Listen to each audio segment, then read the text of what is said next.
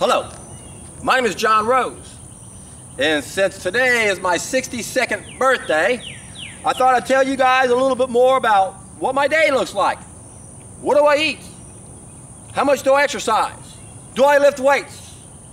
So I'm going to respond to a lot of comments I've received over the last several months uh, in this video right here. Uh, yes, I feel like a kid.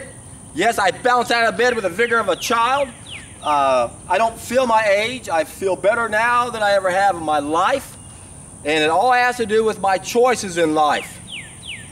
And we see how that works with the Blue Zones, for example, that book written recently, where they went and looked at all these centenarians that uh, were doing much better than the rest of the planet. and I noticed there are four common links among these centenarians. Three of them were good, one was bad. But they all had to do with our lifestyle choices, which explain why they were living so long. The three things that were good lots of sunshine, lots of exercise. In fact, four or five hours of exercise a day. Like I can guarantee it wasn't indoors because the most common trait among all of them was lots of sunshine. So they were out getting four or five hours of fresh air and sunshine every day.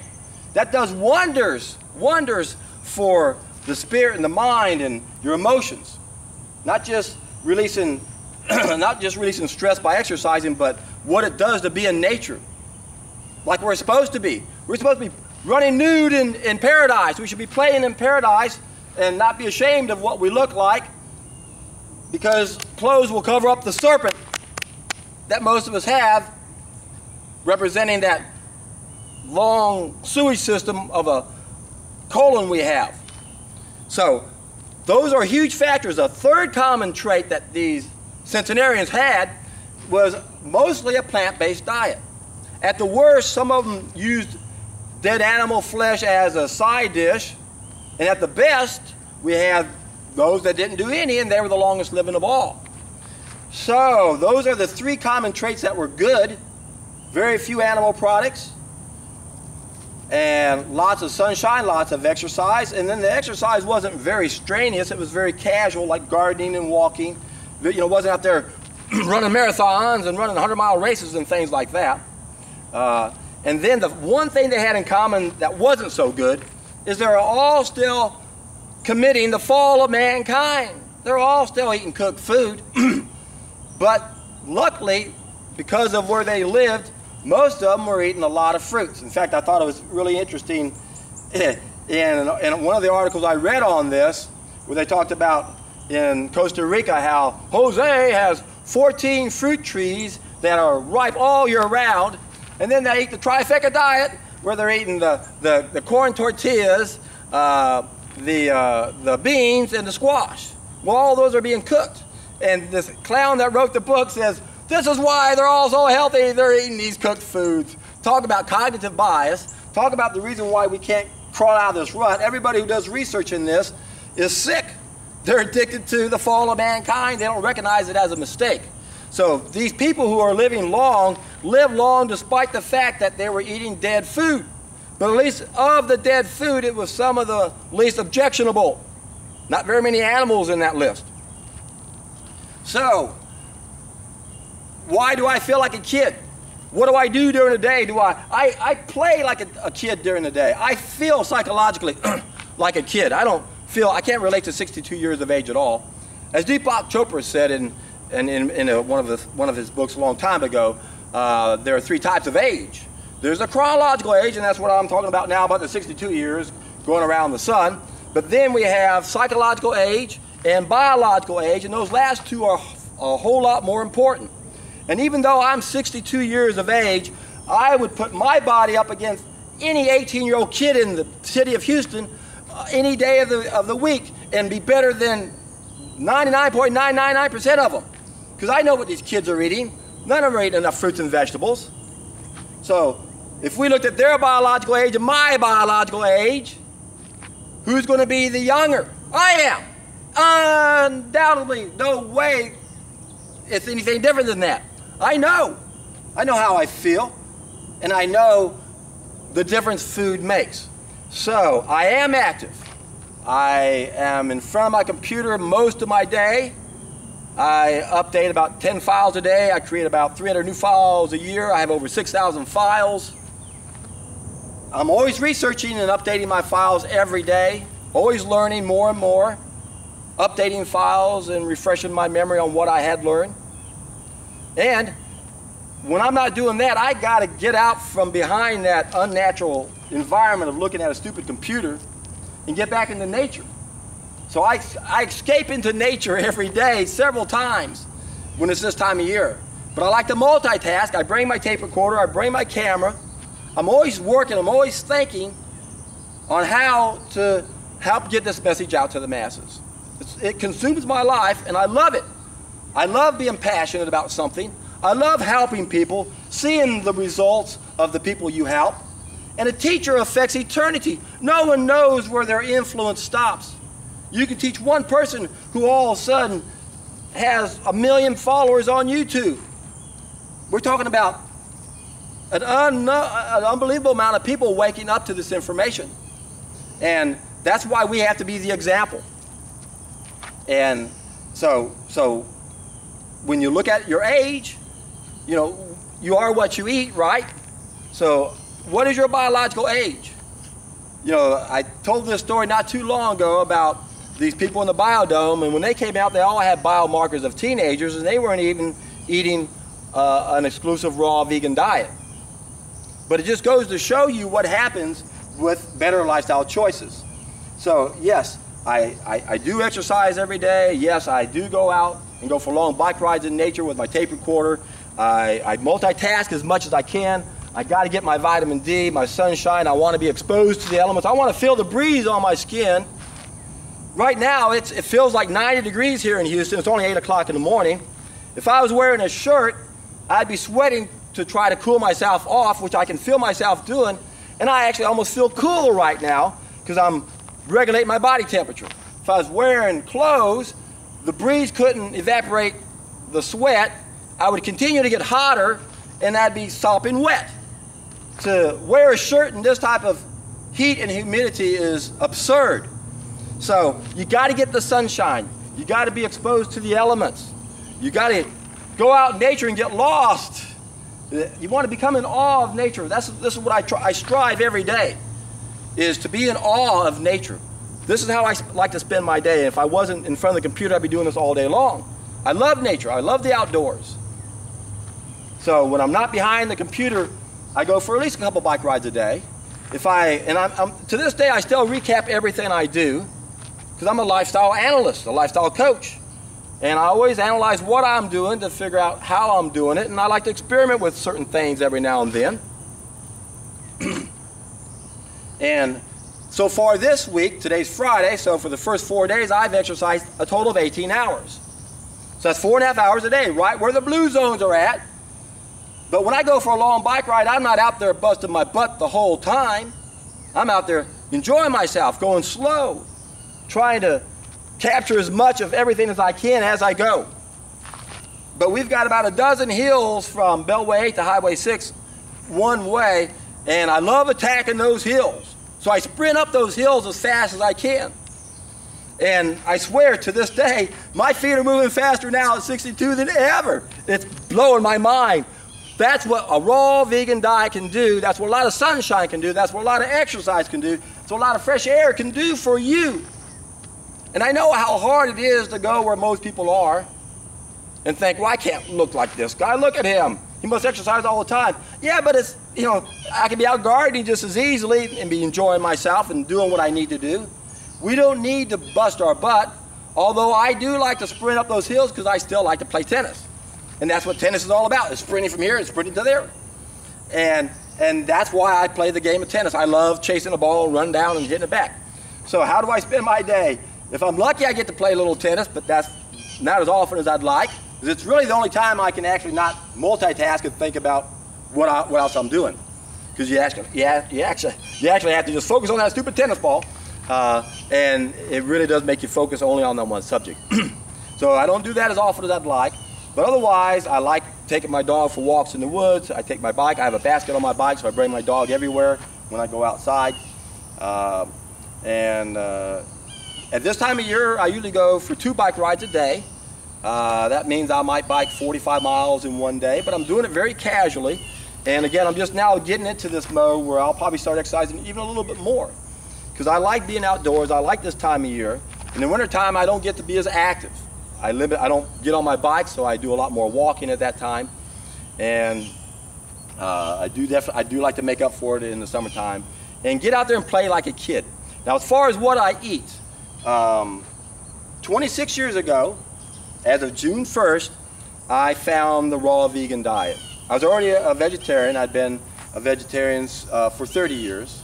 So I'd already known about not eating animals. That was my first dietary change I made, and it made such an impact on me. I wanted to know more, and that's really how I got to where I am now. No one could give me the detailed information I was looking for. I figured it out, started writing a book on weight loss about that. That was 28 years ago when I started writing the book on weight loss. And then two years into my research, I found the raw vegan diet. Uh, first five years, I averaged about 90% raw, 60, 80, 90, 95, 99. Not guessing, not exaggerating.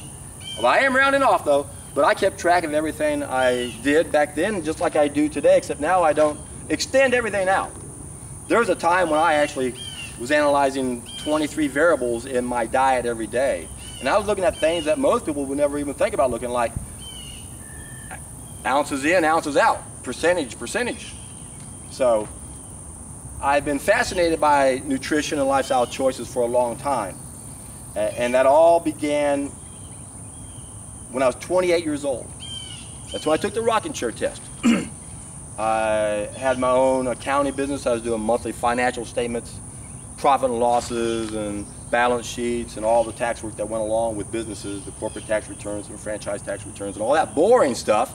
So I took the rocking chair test when I was 28 and said, you know, this is where you project yourself in the future. For you younger people who haven't heard of the rocking chair test, uh, do it. Sit in a rocking chair, project yourself in the future as a much older guy, gal, and reflect back on your life to see if you have any regrets. when I did that, the only regret I could really come up with is, boy, if I spend the rest of my life doing this work, I'm going to be really bummed out. So I had to find something else to do. And that's why I decided to start playing competitive tennis. At the age of 28. When I got to be 30, I realized, my God, uh, I had no idea this sport was so difficult. I really thought I'd be playing professionally by now. The skill level in tennis is, is very, very high. I never really played the sport that much when I was younger.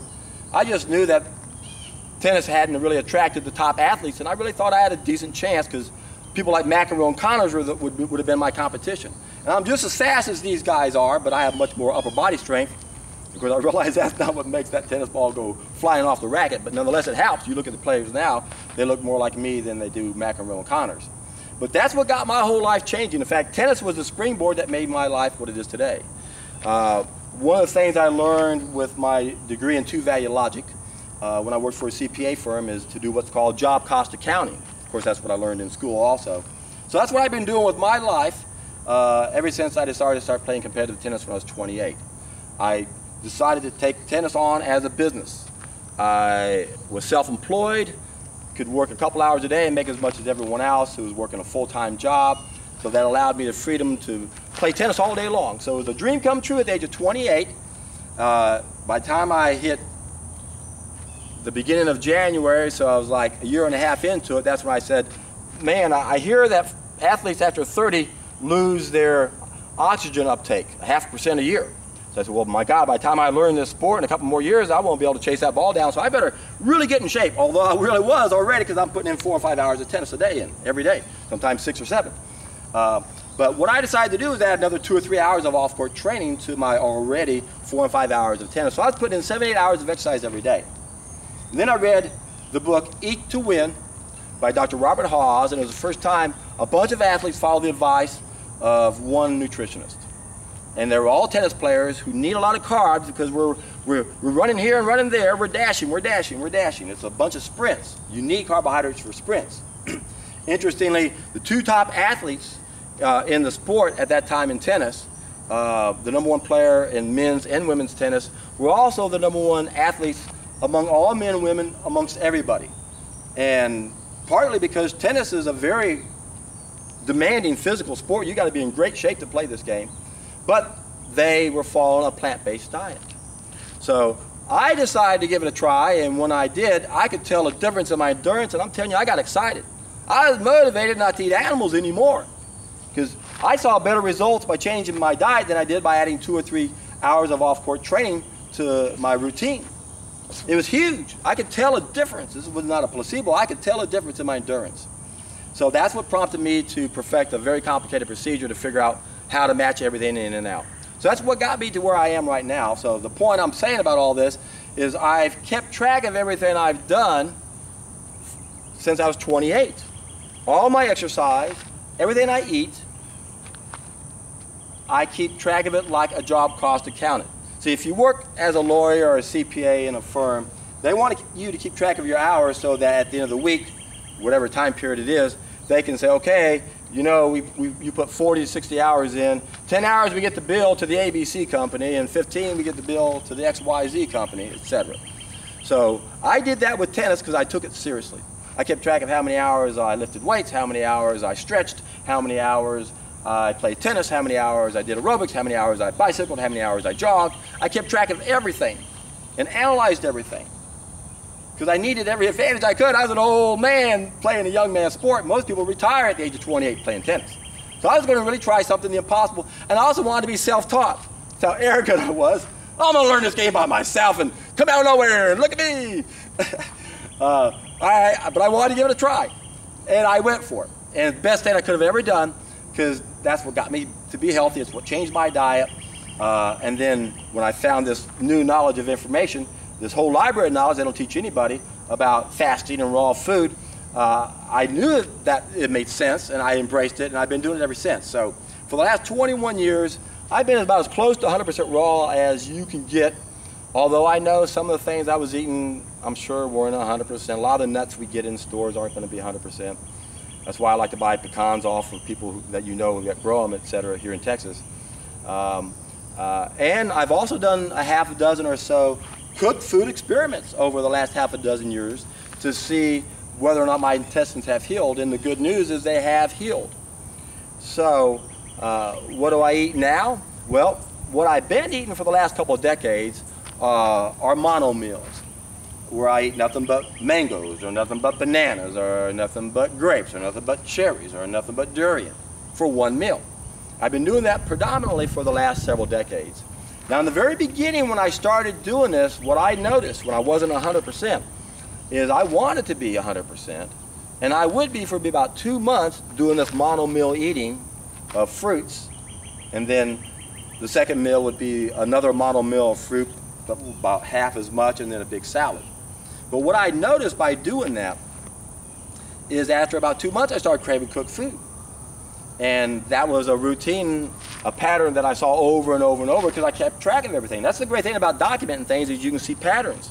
You can go back and look and go, okay, yeah, I see what's happening. Why am I slipping up? What's causing it? Okay, yeah, must be this. So what I did in the beginning to overcome that is I didn't eat mono meals. I would go ahead and eat two or three different pieces of fruit in one meal. And that seemed to give me what my stomach was wanting, that somehow cooked food satisfied that desire to fill something more complicated than my stomach. I don't know, but it seemed to work for me. Now what I do uh, is, or what I've been doing, is eating a whole bunch of fruit for my first meal. And I like to earn my calories. So uh, at this time of year, I like to go out and get a good workout in the morning, uh, come back and have my first meal around 11 o'clock, and I'll eat maybe five pounds of mangoes, six or eight pounds of watermelon, depending upon how active I was. If I've gone for a three-hour bike ride, two or three-hour bike ride, I burned a lot of calories. I need a lot of calories. And I'm also hungry. It's easy to eat a lot of food when you're hungry.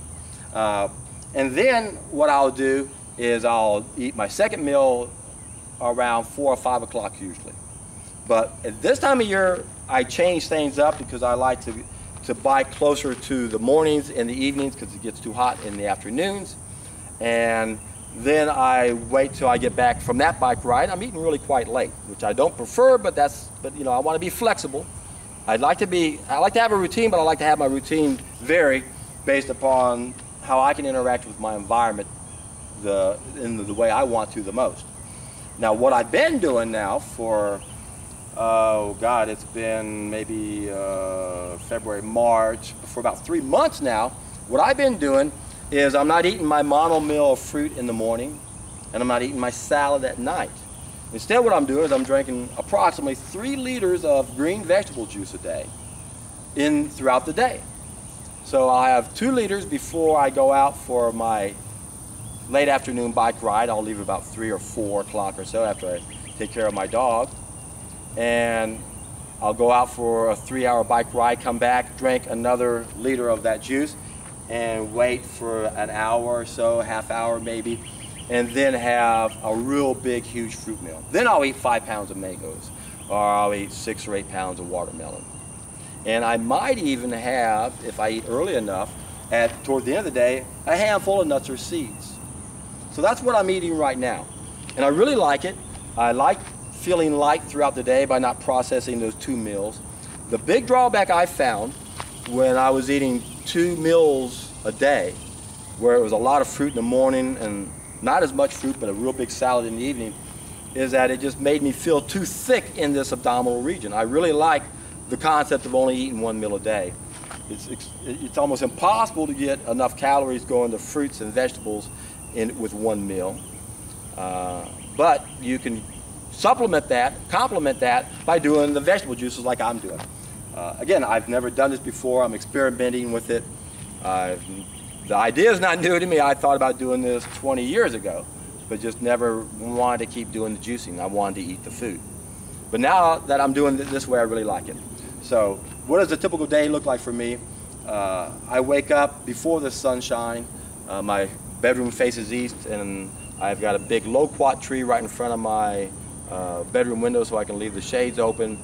But when the sun comes up, uh, I'm up right before that happens. Uh, it's instinctual for me. No matter what time I go to bed, I always bounce out of bed at the same time.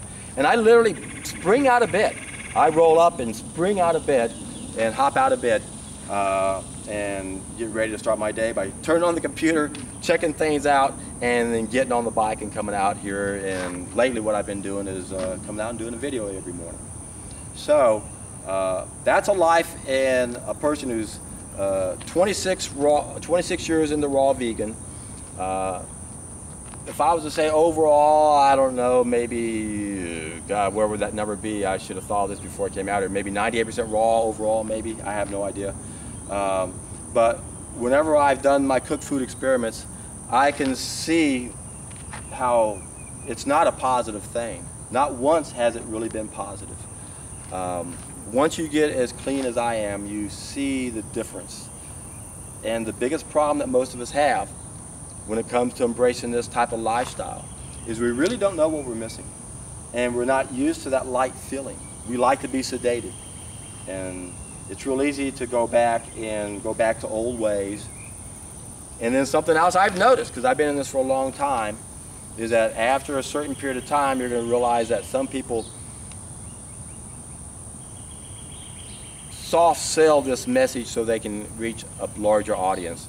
I remember when I uh, I met with the uh, the ex-president of uh, the Natural Hygiene Society in the early 90s, um, back when Goldhamer was first introduced into this, Dr. Goldhamer, And I always felt like he was infiltrating the movement, trying to say, look, you guys will reach a bigger audience if you just allow some cooked food. And they talked him into it. And I was real disappointed with that message that they uh, would succumb to that just because they couldn't figure out how to sell this idea. And that is a big problem. How do you sell raw vegan to the world? It's almost impossible. So what's the best solution? I think there's only one solution.